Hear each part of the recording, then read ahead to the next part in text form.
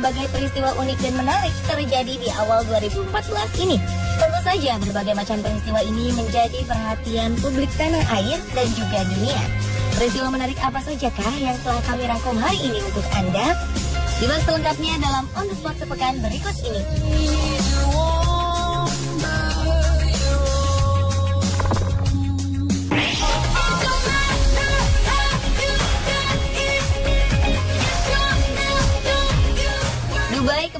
Menuai sensasi dengan perayaan malam pergantian tahun baru yang begitu spektakuler. Bergantinya tahun menuju ke angka 2014 diperingati secara meriah dengan pesta kembang api di atas Tower Burj Khalifa. Burj Khalifa sendiri diketahui merupakan gedung tertinggi di dunia. Pertunjukan kembang api ini memang dirancang untuk memecahkan rekor dunia dan mengalahkan pesta kembang api di atas jembatan gedung Opera Sydney, Australia. Bahkan Guinness World Record telah mengukuhkan rekor ini. Dubai telah memecahkan rekor dunia untuk display terbesar dengan melibatkan lebih dari setengah juta kembang api. Begitu spektakulernya, kembang api tahun baru di atas langit kota termodern di Jazirah Arab ini khusus dirancang oleh perusahaan asal Amerika Serikat, Grucci. Pesta kembang api ini menggunakan 100 komputer dan 200 teknisi untuk menyingkronkan kembang api. Pesta kembang api ini menelan biaya sekitar 6 juta dolar Amerika atau sekitar 72 miliar rupiah. Lebih dari 200 tenaga ahli bekerja selama 5.000 jam untuk memastikan waktu peluncuran kembang api termegah ini. Kerja keras selama 10 bulan ini akhirnya menghasilkan sebuah pertunjukan penuh cahaya yang berlangsung sekitar 6 menit. Kembang api yang membentang lebih dari 100 km dari pantai Dubai hingga ke Burj Khalifa ini nampak begitu indah menerangi langit malam Dubai di awal tahun.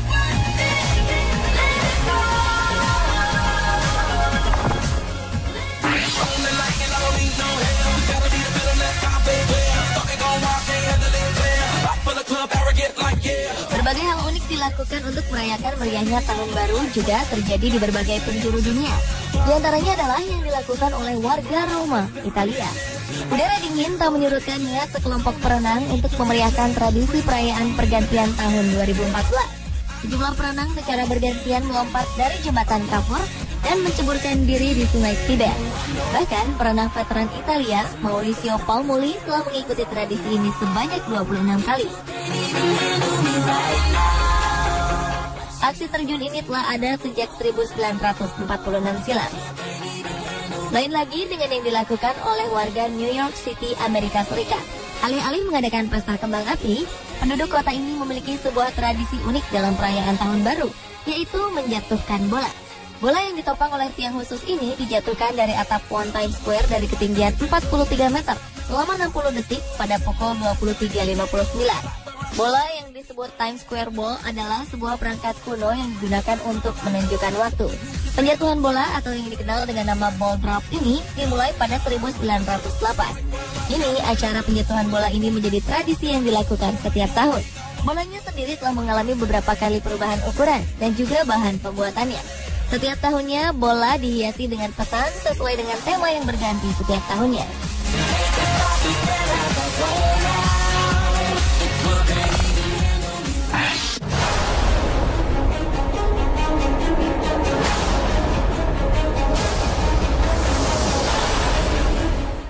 Detasemen Khusus 88 Anti Teror melakukan penyergapan pada Selasa malam 31 Desember 2013 lalu di sebuah rumah kontrakan yang diduga dihuni oleh teroris. Aksi penggerbekan ini terjadi di Kampung Sawah Ciputat, Tangerang Selatan, Banten. Operasi yang diiringi dengan rentetan tembakan ini tentunya membuat warga sekitar khususnya anak-anak menjadi trauma. Karena itulah, sejumlah polisi mengajak anak-anak warga setempat untuk bermain dan bernyanyi bersama. Tak kurang dari 150 anak-anak beserta orang tuanya berkerumun di sebuah tenda yang tak jauh dari lokasi penggerbekan. Anak-anak tampak antusias bermain bersama polisi. Anak-anak usia 5 hingga 10 tahun ini diajak untuk bermain ular-ularan sambil bernyanyi yang dipandu langsung oleh Kasat Binmas Polres Metro Jakarta Selatan, AKBP Dehastuti. Hal ini dilakukan agar anak-anak dekat dengan polisi yang dipandang menakutkan pasca aksi baku tembak beberapa hari sebelumnya. Bocah-bocah ini pun terlihat sangat antusias dan bersemangat. Apalagi sejumlah hadiah juga dibagikan. Selain mengajak anak-anak bermain, polisi juga menurunkan tim psikologi untuk mendampingi warga yang trauma akibat aksi baku tembak di malam pergantian tahun tersebut.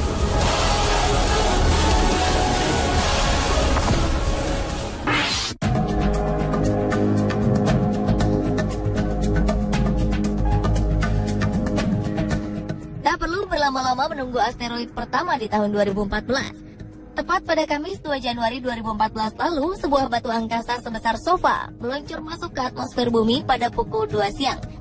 Asteroid pertama di tahun 2014 ini diberi nama 2014 AA.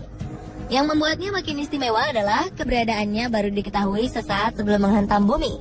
Catalina Sky Survey dekat Tucson, Arizona menangkap gambar pergerakan asteroid 2014 AA. Dan seperti yang diprediksi sebelumnya, benda asing ini jatuh di gurun Nubian, Sudan Utara. Para ahli telah menemukan sebuah meteorit dengan berat 15,9 kg di wilayah tersebut. Sebagian masanya diyakini menguap atau hancur saat memasuki atmosfer bumi.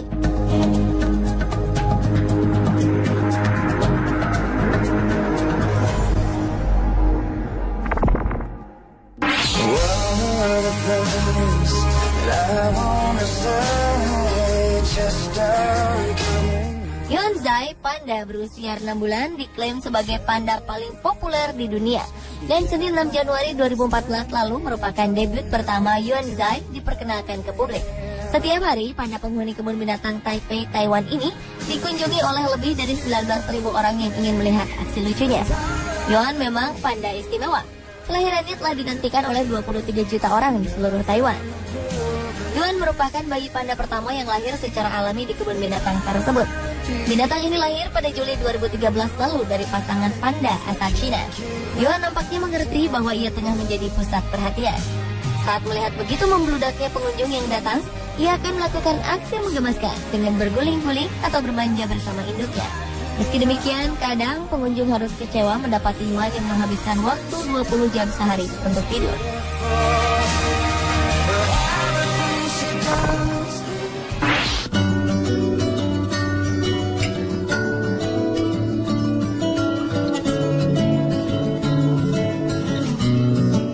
Berbeda dengan Panda Yuan, peristiwa tragis dan menghancurkan hati justru datang dari kebun binatang Surabaya.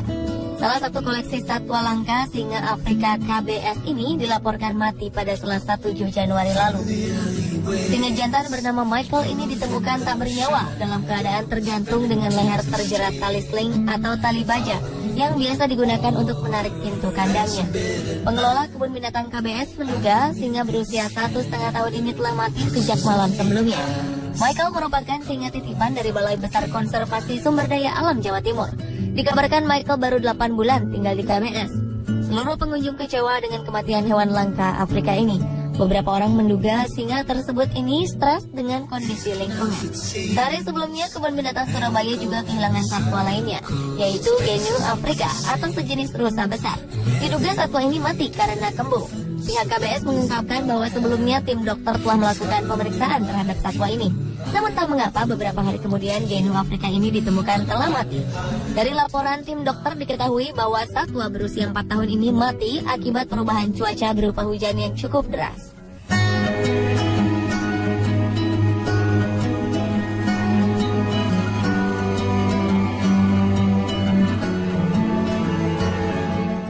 Pemirsa, itulah peristiwa-peristiwa unik dan menarik yang telah On The Spot rangkum untuk Anda.